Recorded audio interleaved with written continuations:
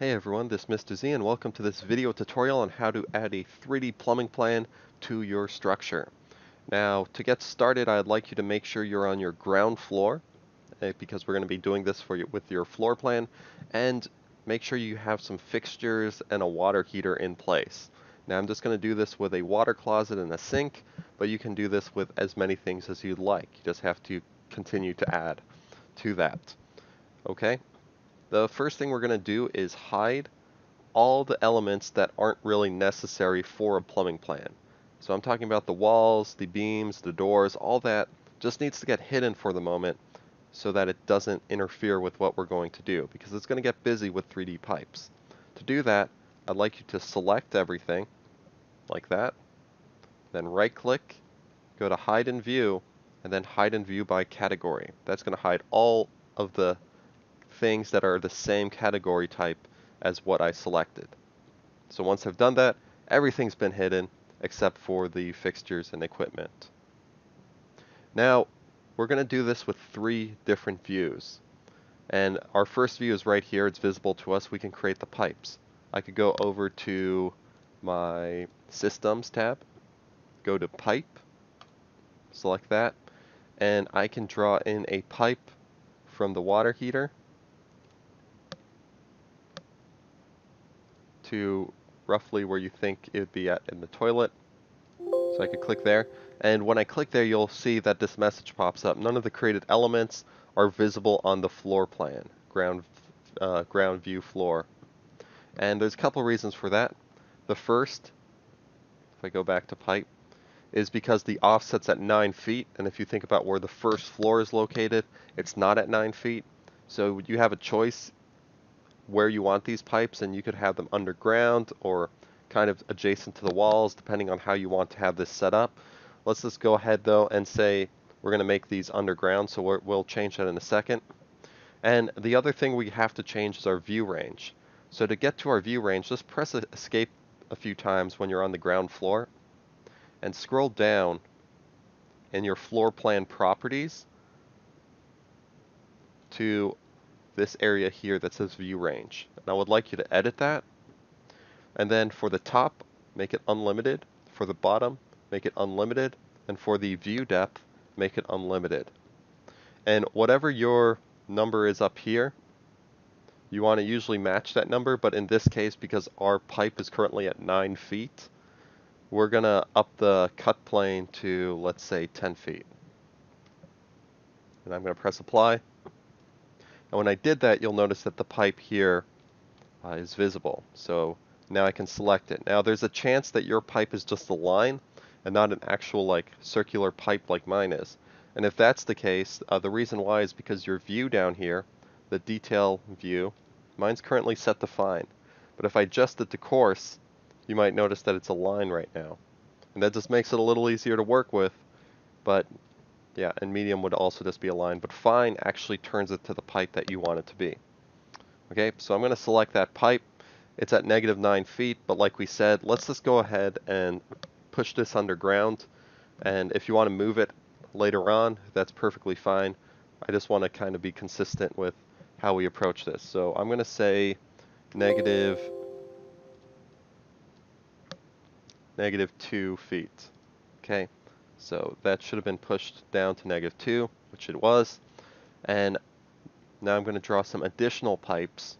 And before I draw these additional pipes, I also want to point out that right now, the diameter of the pipe is 6 inches.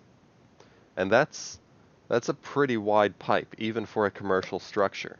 Usually when you're dealing with residential, we're, we're talking about a, an inch or so tops for like the flow of water in. So we're going to adjust our diameter from 6 inches to 1 inch.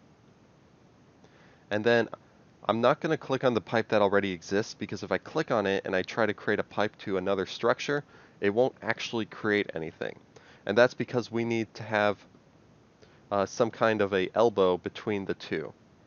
So I'm just going to go kind of like next to it, not touching it, this kind of next to it, and I'm going to draw in another pipe and then I'm going to press escape and then I'm going to draw in another pipe over to the sink.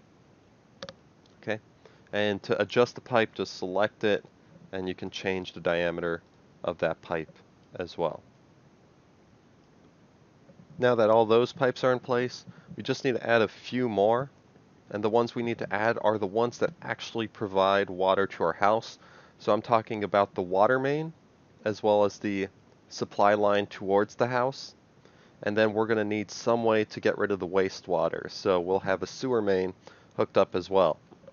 To add those ones in, it's the same way. Go to pipe, and the, the supply line is going to be a little further down so it's not going to be at negative one feet. Usually the water main can be somewhere between eight feet or so into the ground. So let's go ahead and say negative eight for this. The, the supply line itself though will be about one inch. So somewhere close to your water heater. Whoops. I must have been too close. Uh, I'd like you to draw in a supply line exiting from your property okay? And I can kind of see why this must be in my way, so I'm just going to hide this by category, okay? And we now also need the water main, which is going to provide water for hundreds of houses, depending on how your neighborhood's set up. So I'm going to set this to negative, whoops, uh, the diameter is going to be, let's say, 8 inches because it's going to be a larger pipe because it's supplying a lot of water but it's also going to be at negative 8. And let's just kind of draw it out like that. Okay? Over here, since this is going to be sending out waste, waste cannot fit in a pipe that's only a 1 inch, if you think about it. Uh, I mean, you, you throw a lot of stuff in the toilet probably, and food and whatnot. So waste can't just go in a 1 inch pipe. We're going to make it a larger pipe, 2, 3 inches uh, should be fine. So let's just go ahead and say we'll make it two and a half inches and go over to our systems pipe and set a two and a half inch diameter pipe and we're going to go with this one since we're we're going to be going to the waste let's just kind of draw it out here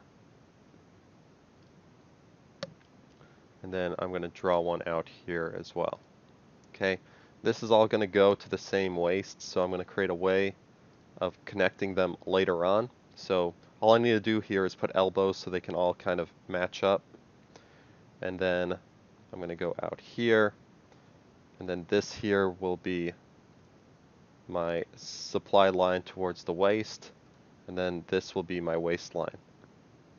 Not like my waist line, but like the waste. Okay, okay, that there two and a half inches at negative 8, that's fine. This pipe here is going to be much larger. So let's go ahead and say 12 inch diameter for that one. I'm going to select it and just tap it a few away. And we'll make any adjustments that we need to. And then these over here should be okay for now. Okay, so it's a lot of pipes, but I'm going to leave that on the screen for a second and go ahead and draw those out and I will continue on with the next part.